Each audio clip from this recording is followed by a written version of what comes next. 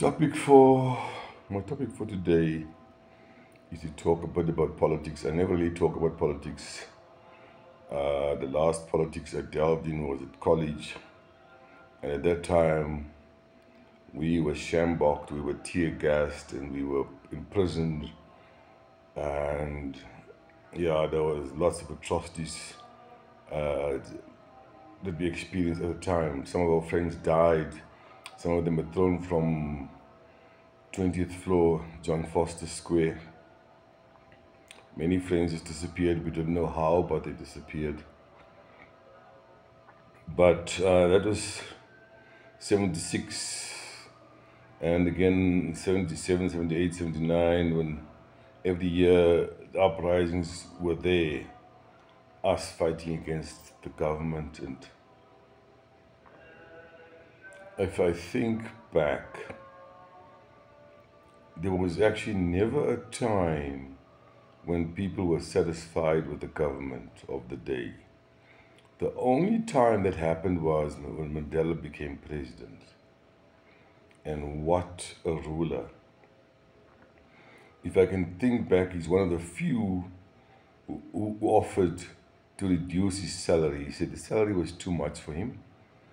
He will donate a third to the Children's Foundation and he would donate a third to the Job Creation Fund. Before and after, there was never a president like that. I can think of one other president in Uruguay, humble president who fought for his people just like Mandela did. He cared more for his people than for himself and his family. The president of, of Uruguay didn't have his own, or he had his own car. The only car he had was a VW Beetle 1978 model. I mean, can we compare that to any other president in the world? Is there any other president that will, that will do that? To them, it will be demeaning. For him, he was proudly driving his VW 1978 model Beetle. He didn't have his own property. He lived with his wife in his wife's house. And he was a president for the people by the people, for the people, and he tried to do his best for the betterment of his country and his people. If I think of any other sports team before that that ever could have done that, uh, was it in the 90s, 94, when it was the Bafana team, when the team was fully mixed, and we had Clive Barker as coach, we had Neil Tovey as captain, Mark Williams, and um, we had um, Dr. Khumalo on them, and we had um, the guy who went to play for Leeds. That was a team that gave South Africa some form of hope. Before that, there was never any such a team. That is the first team that was totally mixed and played for the country, played their hearts out for the country. Like the 95 Boks, which Mandela so rightly supported,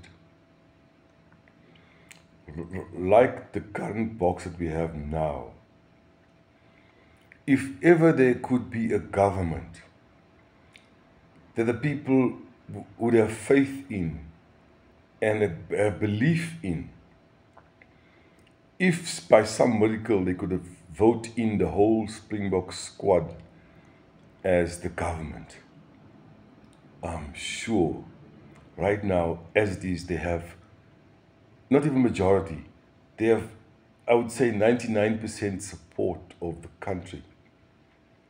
Why? They, they are prepared to lay down their lives. They're prepared to undergo any kind of injury. They're prepared to put their bodies on the line for the sake of the country. They are fighting there for the country. And that's the kind of people we need to lead any team or any government. I would happily vote for them if they could be in power. if ever we had a great um, leader in the coach, Rassie, to my mind, there was never ever a coach of his stature, ever, and I wonder if he'll get one in the future. He, he, his contribution is immeasurable. He's a mastermind. And for me, that's the kind of person we need as president. I would gladly have accepted Rassie and Jacques as co-presidents and the, the, the, the panel of, of Springboks below them as ministers. If perhaps they are inadequate in certain areas, they could have they could have advisors. But these people, as they would lay their lives down for their country and do the best for their country, I believe they'll do the same for the country. They will they want the progress of the country and they'll lay down their lives for their country. This is the kind of people we need in the government. Humble people. People prepared to lay down their lives for their fellow men, prepared to lay down their lives for their country, prepared to fight for their country.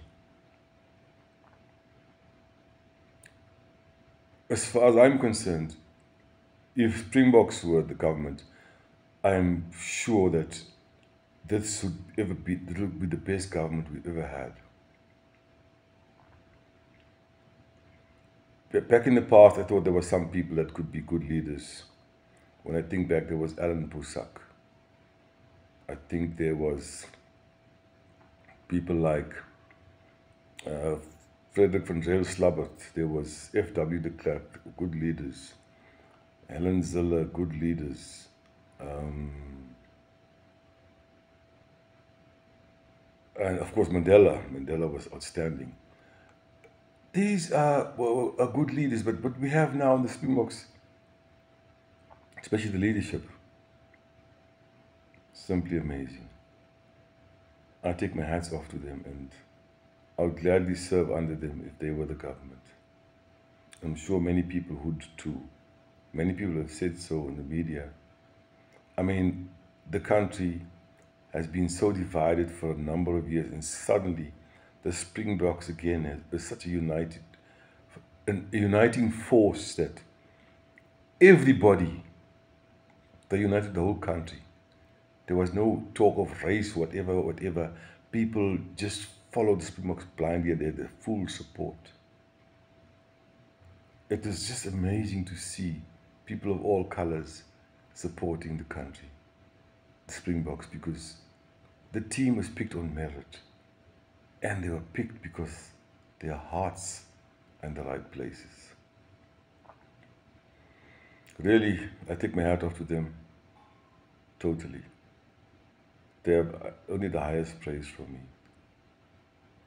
Anyway, people, what can we say? What can we do? Yeah. Anyway, good luck and have a good day.